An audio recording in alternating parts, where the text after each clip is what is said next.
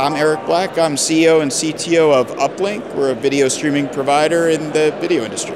So at Stream TV, we're showcasing a lot of our different new offerings, which is modularization, our StreamOps product, which is a virtual NOC that we can use with our own technology as well as third-party technology, and our end-to-end platform for video streaming as well. The show's exciting. It's so much bigger this year too, which is great.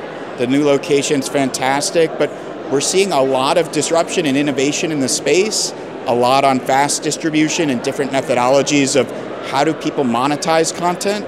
How are they ultimately doing whether it's direct to consumer, ad insertion, a combination of them both, and how can Uplynk help them with that? So we're hearing quite a bit of. I mean, Uplynk's actually been around for you know the better part of well over a decade. Um, it started as an end-to-end video streaming platform, but Uplynk really does solve for, through our modularization ad insertion technology, but one of the key tent poles that we have is we are excellent in live operations. And so when you look at a lot of providers in the space, what we will do is act as your insurance policy to ensure whether you're working with us and our technology or other third-party technology that your event goes off without a hitch and we're on from before the event all the way through and after the event to ensure that not just us but all your third-party vendors are delivering the way that you expect and with your KPIs.